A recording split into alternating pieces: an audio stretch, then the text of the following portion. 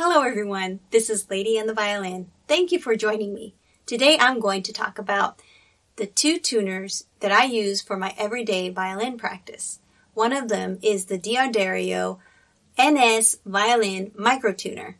The other is the free tuner app that you can get on most devices. So which one's better? I'll let you be the judge as I compare both. And uh, I will tell you off the bat that I use them both for different reasons. So please keep watching to find out the pros and cons of both the D'Addario microtuner and the free tuner violin app.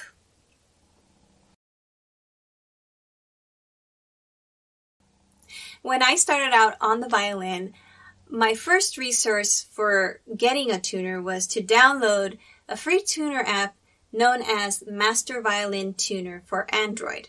Of course, for a small fee, $4.50, you can get the non-ad version. This tuner was my primary tuner throughout most of my first year and um, I used it to tune my violin, but I also used it as a reference for note correction uh, when practicing songs and scales and all of that. So it's a good reference to check every note on the violin to see if it's flat, sharp, or right on the dot. Since it uses the device's microphone, I know the main concern is if there's background noise, if you're practicing with the metronome, or if you're practicing with accompaniment, will it interfere with reading your violin tone? Uh, I've tested this and it works perfectly. It still detects your violin tone and lets you know whether you're hitting the notes correctly. Just like with any tuner, when the arrow is right in the middle, you're on target. If the arrow's to the left, you're a bit too flat, and if the arrow's to the right, you're a bit too sharp. Here's a demonstration of a basic A major scale that shows how the tuner works for practice. As you can see, the tuner needs a little time to detect your tone. So that would be probably the first minor con. But that's okay. It's free. This is a tuner that you can have with you at all times. Just download it on your phone and have it there. There may be an occasion where you need a tuner and there is no tuner or piano or any type of of reference for notes where you're at and you need it right then and there, all you have to do is whip out your phone and use the violin tuner from your phone. So that's very convenient. Another glitch that I found with this app is sometimes it doesn't detect the A string too easily it, at when it first starts up. So all you have to do is play the G string and then go back and play the A string and it detects the A string. So it's just a small glitch, no big deal. One of the features I really love about this app is tone reference. So um, what you can do is when you tune your violin for the very first time, let's just say you switched out all the strings, all you have to do is hit each note and it gives you a good reference of how that note is supposed to sound.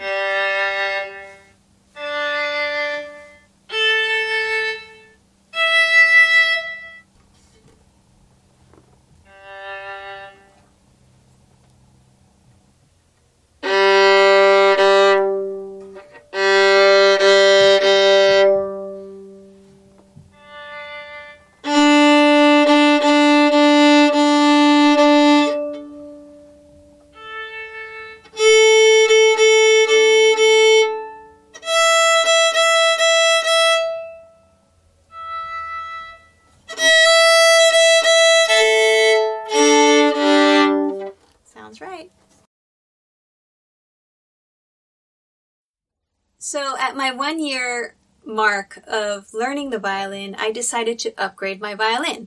Along with my violin upgrade, I also decided that I wanted to try an actual physical tuner. After so much research on what tuner I should try, I came across the D'Addario NS Violin Micro Tuner. And just like the name describes, it is tiny Look at this. Isn't it adorable? Unlike the tuner app, this microtuner detects vibration. So uh, it, it has no microphone, which is nice because it has a faster response as a result of that feature. I found it convenient that you can attach it to your violin and it isn't bulky at all. And the head of the microtuner actually swivels around, so you can view it from most angles. And this is convenient because sometimes you need to um, adjust your strings using the pegs while having the violin propped on your lap. All you have to do is swivel the head upwards, like so. And I'm just going to turn it on just to show you. From here, if I just leave it the way it is, it's upside down. So you just press the center button to turn the display around and now I'm I'm able to view it right side up. That is very convenient. I, I like that feature. Again, when you hit the right note, the display will be green with one line on each side of the letter. When you're off key, the color changes, and if there are multiple lines to the right, it means that you're too sharp, and if there are multiple lines to the left, it means you're too flat. I really like the fast response. What I really like is the color display. So if I'm playing and I want to make sure that the pitch is correct, all I have to do is just check my peripheral vision. As long as the display is green, I can be sure and certain that I'm hitting the notes correctly, which is so useful because as you know, violin playing involves a lot of multitasking and it's helpful not to turn your head or try to focus on a tuner for your pitch reference. Um, it's good to just quickly know that you're on pitch just by seeing the green display on the microtuner. One of the features I most like is the compact size. You can use it, you can, while it's attached to your violin, turn it off and leave it attached because it will not bother you while you're practicing. And then you can quickly turn it back on when you need to reference a note.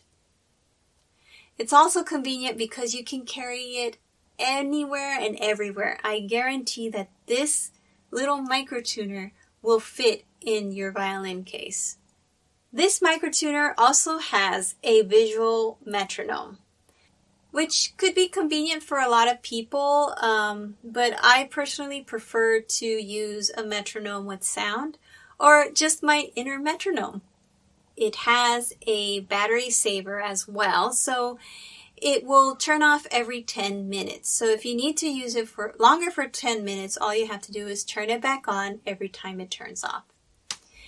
Unfortunately, you will need to change out the battery once it dies, and it does die. It's been a little less than a year since I've owned this one, and since I've I've had times that I used it very frequently and for long periods of time, the battery does die. So I've changed out the battery twice. It takes one CR2032 battery. So just make sure you buy, I don't know, a pack of three. I already used one here.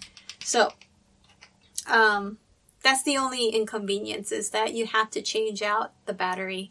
Unlike the Violin Tuner app, as long as your device is charged, you have access to that tuner there always comes a time that I need the features of the Violin Tuner app. For example, the pitch reference is so useful when you are tuning your strings for the very first time. Let's just say you switched out your strings.